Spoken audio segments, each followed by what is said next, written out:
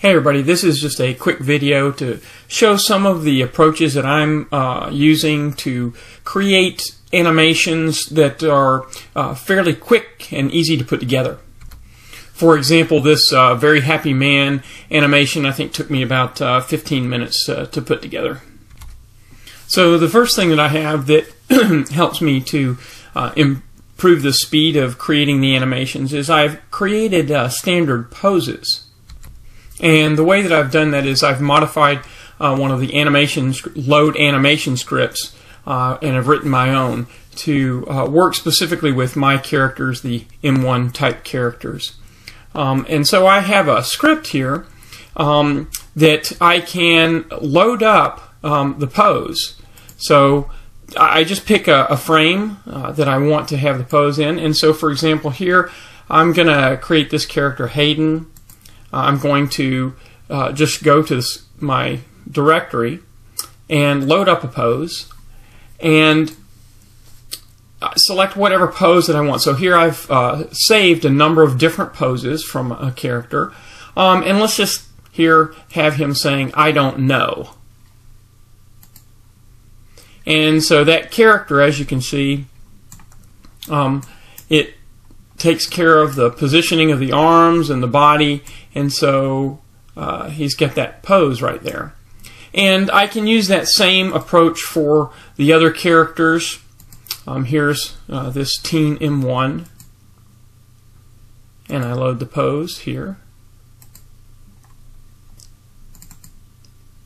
And you see that the different characters can all have the same kind of pose. And uh, I've got a number of different poses, so I just move to a different location uh, where I want the pose to change.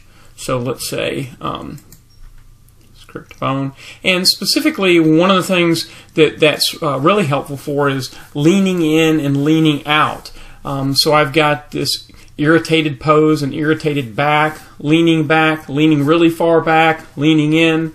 So if we want to lean in here, so he's leaning in, so you can see that he changes for the different poses.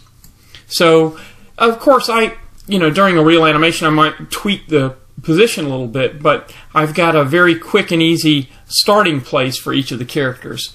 So um, that's one way um, that I speed up my animation workflow.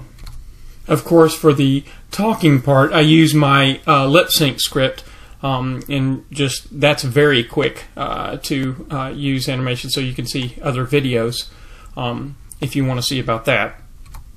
But another thing that I've started working on is creating um, basic scenes. So one of the things that I want to do in my animations is um, having uh, characters talk around a table. Um, I'm wanting to do uh, animations that are dialogue based. And so I have a table and a bench and uh, the pillar for the background. Um, of course, I could have a full background here, but I've just got a just a dark brown kind of background here. Um, and want to have it look in uh, different uh, camera angles. Now, here in this case, um, what I want is the character to be in front of the bench and the pillar, um, but for the table to be in front of that. So what I have is um, the pillar and the bench are below the character, and here I'm using a Kim Possible character. But notice that um, since the table is in front, uh, it covers her right arm.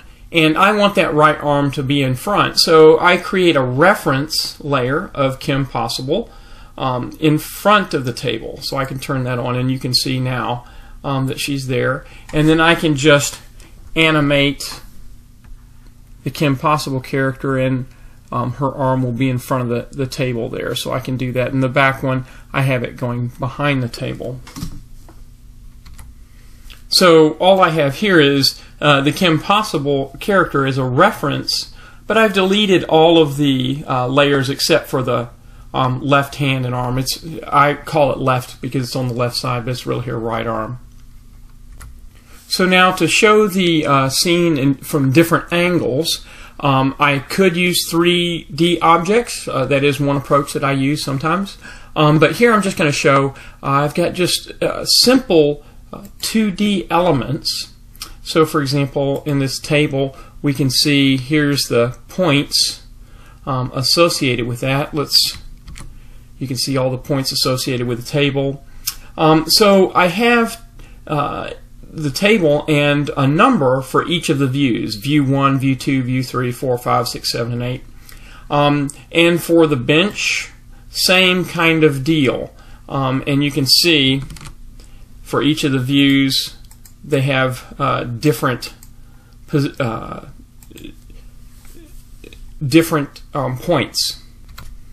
So in this case, I wrote a specialty script that will just um, look for the switch layer table, uh, the switch layer bench, and the switch layer pillar, and select the proper layer. So, for example, let's go to frame 9, and I want it to switch. And so I'll go to my scripts, and I will go to um, my uh, layer effects, and here I've got switch scenes. And so here I just select the scene uh, that's of interest and click on OK, and it will change the view. So I can just, um, again, layer effects, switch scenes, and in if the uh, table, for example, doesn't exist, it just um, doesn't show it in there. So now I just turn on the character that I have of interest, and as I switch the different views, um, I can have the character also change their position. So here we go. As I come around, I can move the character and then just again use that same script to load up a different pose and have her switch to different angles over time. Um, this character actually, yeah, so it should be, oops. So in any case, uh, that's how I can switch the different scenes. So one big takeaway from this is um, it's a good idea if you don't know how to write um, the, scripts for Moho, you might be interested in looking at that some um, because by using scripts, they're they're not uh, too hard to write, and once you know how to do that, uh, you can really increase your workflow and tailor it to your way of doing things. So I hope that's helpful, and I uh, hope you enjoyed it. Thanks a lot. Bye.